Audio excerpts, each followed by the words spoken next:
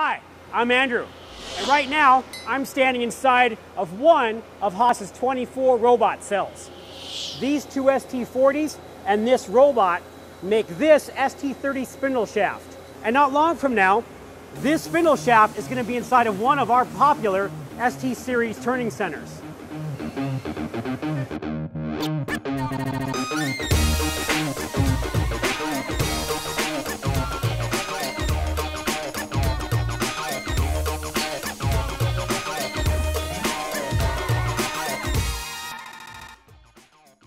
Today on Haas Factory Facts, we're going to check out how this cell makes ST30 spindle shafts. This slug of annealed 4140 weighs 170 pounds right now. Before this robot showed up, the operator needed the crane each time he loaded this shaft. But with its 280 pound capacity, this Motoman Up 130 does it with ease.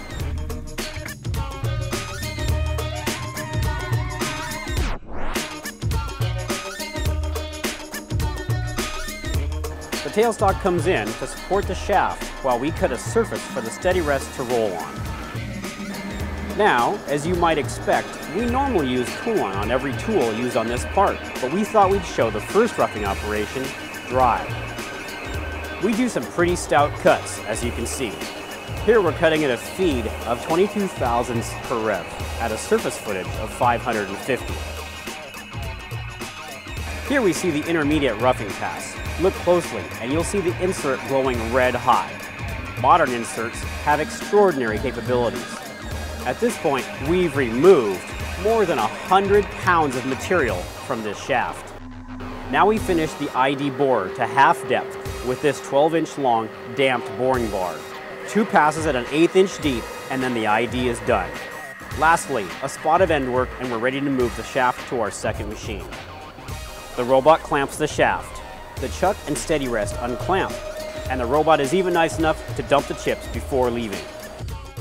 A quick regrip to the number two position, and it's loading time again.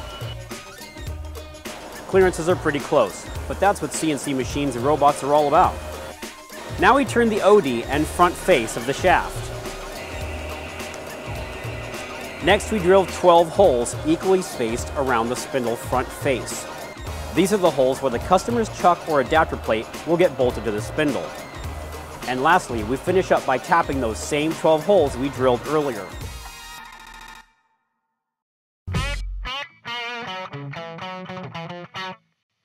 So, we've come to the end of it.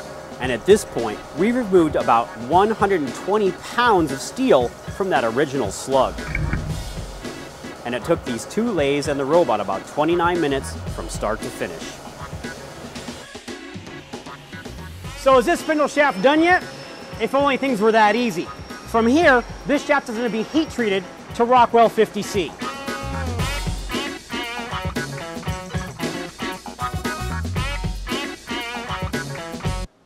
Then it comes here to get hard turns, to bring it close to final grind size. Yep, this SL40 is still running strong day in and day out, making parts that are going to go into our new Haas lathes.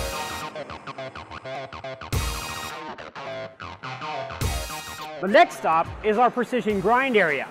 And yep, inside here we've got another robot. This robot is keeping this grinder busy and keeping efficiencies high. Then when we're all done here, our next stop is the spindle assembly area.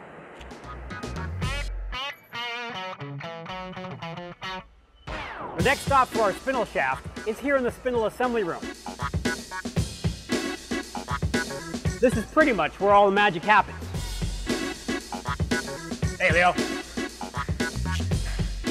Now Joe right here is about to drop this hot bearing onto the spindle shaft.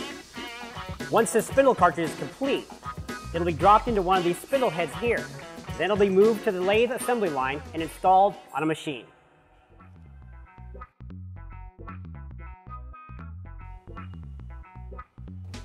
This ST30 is just about ready to ship. Going to another lucky customer, and this time they are in Mexico. And here's that same spindle shaft that we started with not too long ago. So we've watched as this shaft made its way from our robot cell to the hard turn area, then the grind cell, and finally it ended up in the spindle assembly area where we turned into a complete assembly. So we watched that spindle shaft go through quite a transformation. This gives you a glimpse into the countless hours of engineering and process development that go into making just one of the literally thousands of parts that we make. Parts that make Haas machines better. In this show, we'll take you behind the scenes so you can see just how serious we are about making great machine tools. See you next time on Factory Facts, and thanks for watching.